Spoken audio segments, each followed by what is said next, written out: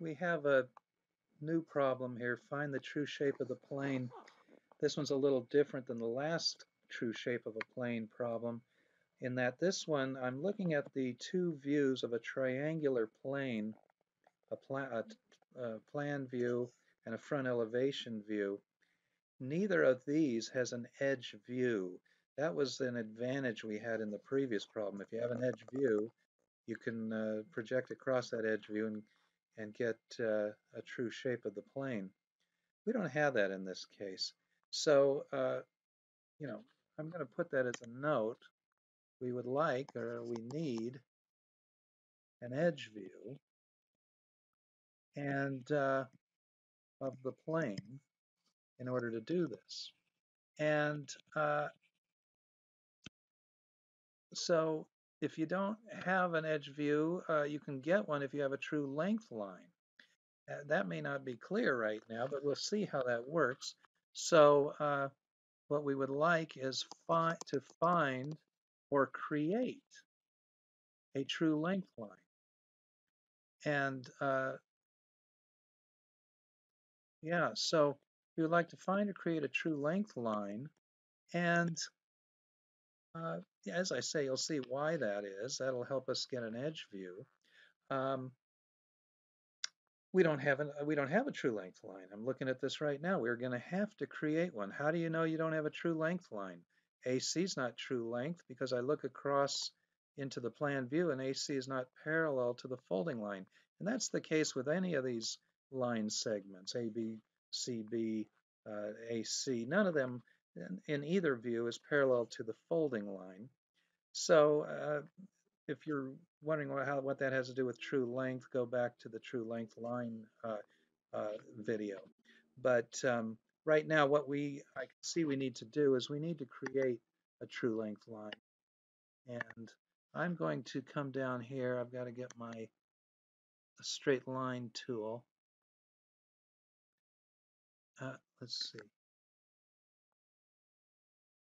With my straight line tool,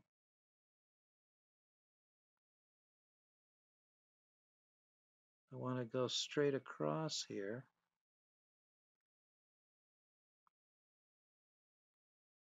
And that's uh, parallel to the folding line. Uh, that itself is not true length, but if I project across, oh, before I project across, I better label this point that I, am going to make it clear that there's a point there. And I'm going to label that point D and I'm going to project straight down, need my straight line tool again.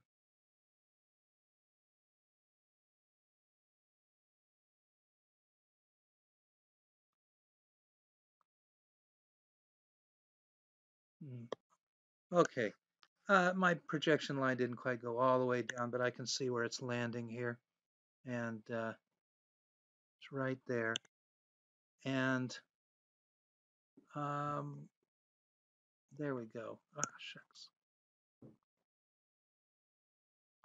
And there we go. We have, uh, I'm going to label that point D. Oh, by the way, why did I land on BC? Why didn't I stop my projection at AC? Well, if you look here at BC, that's where D is. D lives on BC, so it, it projects down to BC. That's why I did not stop at AC or put the point D where it crosses AC, the projection. And uh, so that's that's that's good. Okay, so to get a true length line, I don't have it yet. But if I take my straight line tool here, and I can come up here to point D. Very nice. That is a true length line right now. That line segment, I'm going to label it AD. AD is a true length line. Um, okay. Uh, I'm going to move this view up. We'll lose the instruction up there to find the true shape of the plane. But what I'm going to do at this point, now that I have the true length line, I'm going to project through the true length line. This is the next step. Project through the true length line. Um, let me actually write that. Project through, we'll see what that means also, the true length line. Uh, that may be coming off our screen. So let me put that word down here. Project through the true length line. Uh, I'm going to project through that line AD, the true length line. It's kind of tricky the way this works. I'm going to have to swing it around that way to get a projection through here. That's pretty good. Okay, yeah, that's right through there. Then we need, if we're going to project through that, uh, well, what we're, that's what it is to project through it and uh, through the true length line. And then what we do there after that is we we're going to create a new view. Get a color here that'll indicate a new view.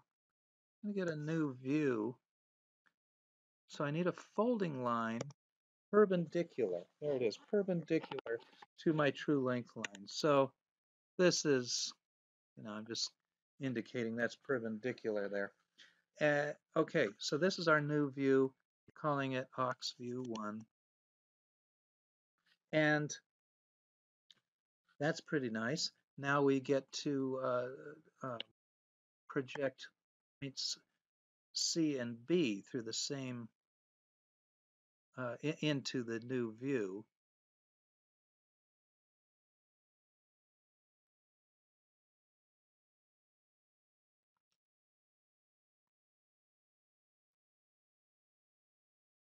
So there we have that projection and then a projection from C.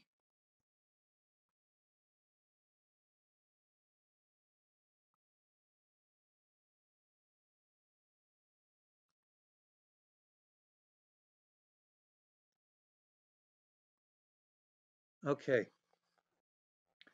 those are my projections into the new view. And all right, so I need to know whether, uh, let's start with C at the top here. I need to know in this new view, does, is C close to the folding line? Is it farther away? We, as we do with each one of these examples, we skip two fences or we skip two folding lines. I'm skipping into the front, uh, am I, I'm in auxiliary view one, I skip into the front elevation view. That's only one folding line. Now I skip a second time and I go into the uh, plan view and I'm looking for the distance to C. I want the distance from C to the folding line, not from C to C. Some students do that. Not from C to this folding line. I've seen that happen. From C to the folding line that I skipped to get into this plan view. I skipped into over this folding line here. So that's the distance I'm going to grab. I'm calling that D1. And that's my first distance. Uh, that distance on my uh, screen here um, is 3 eighths.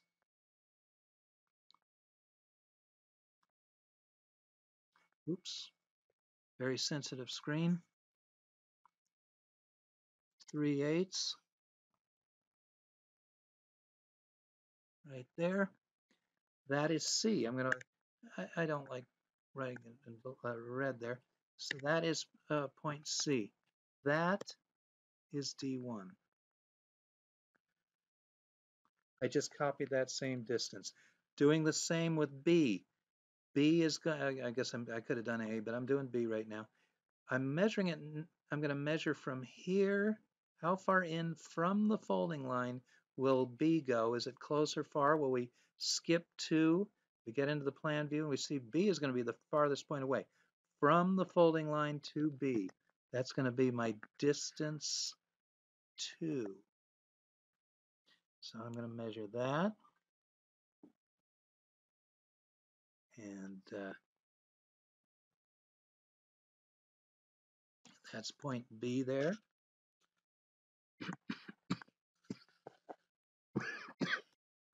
That's point B. And now I need point A. And you're going to see something happen when we find point A. Uh, point A, we skip, we're, we're, here, we want to know from the folding line, how far in do we go? And uh, I skip into, into the front elevation view, I skip a, the second folding line into the plan view. The distance is This is my distance 3. By the way, I see I didn't indicate distance 2 down here. That's the distance I copied to B. Now I'm copying a distance to A. This time I'll get the right color first.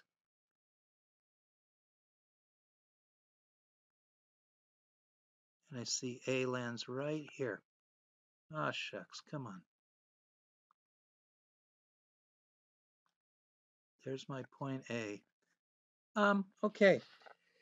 What you should see, and I'm, I can see it looks like I'm probably a little off, and that's that happens. We're not using. I'm not. Uh, I'm trying to do this on a tablet screen.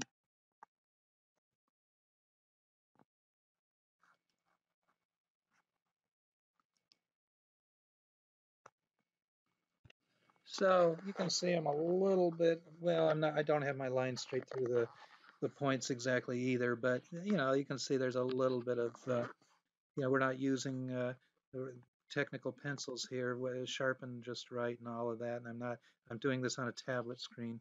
So those are all my excuses for not, for the not having it very accurate. Okay, well, what we have just found though, I hope you appreciate what this is. This is an edge view of the plane.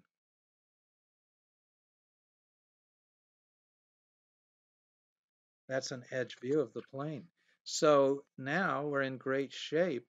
Um, I think what I'm going to do to uh, help this out, I'm going to lose these guys because I'm going to need, it's going to get kind of messy if I don't. And what I'm going to do is I'm going to create a folding line parallel uh, to the line we just created. And we're going to create a new view. Whoops. We're going to create a new view. So I need a parallel.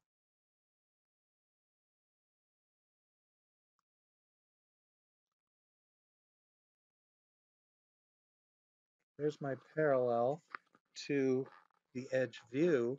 What do you think I'm going to do next? Uh, uh, let's also take this down so we know that this was auxiliary view 1.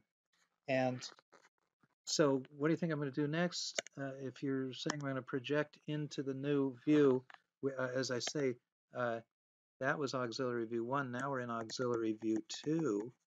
Auxiliary view 2 here. Uh, I'm going to project again. I'm going to project into auxiliary view 2.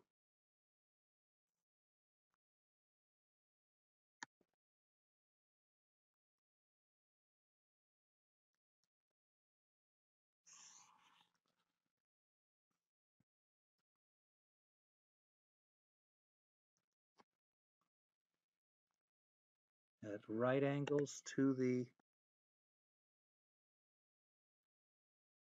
at right angles to the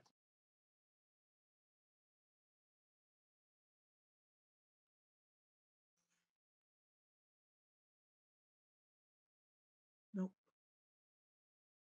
There it is. At right angles to the folding line.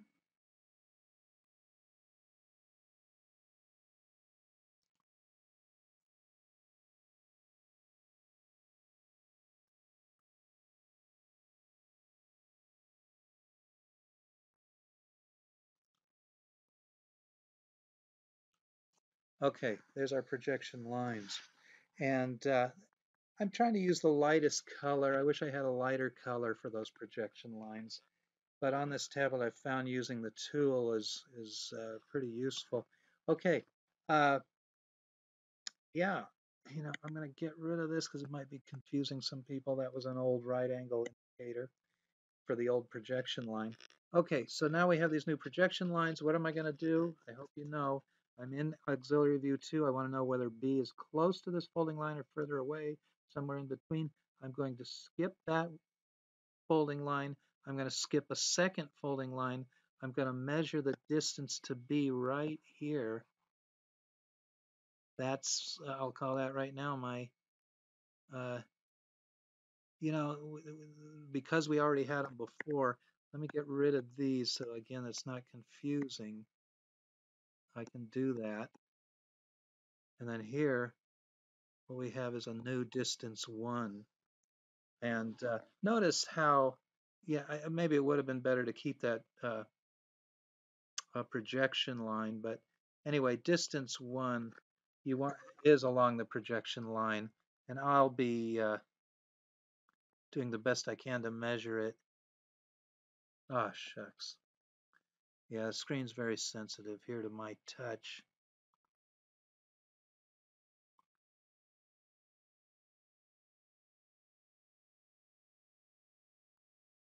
Okay, let's see.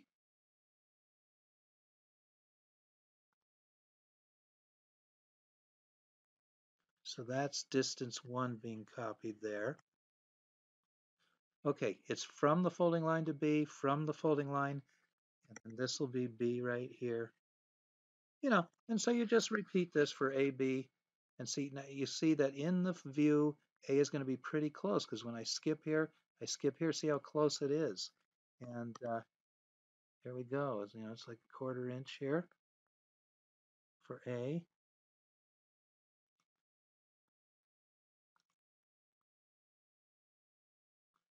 That'll be my distance.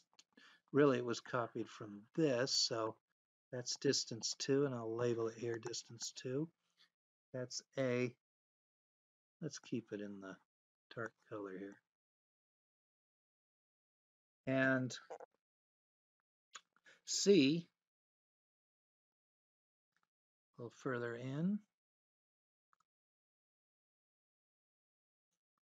right there. And so that was distance 3.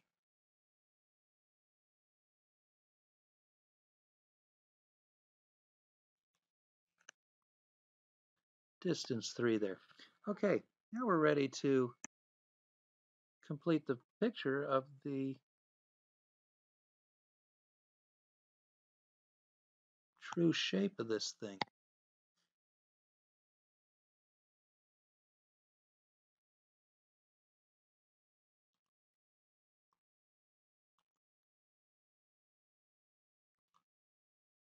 Hard to massage this thing just right.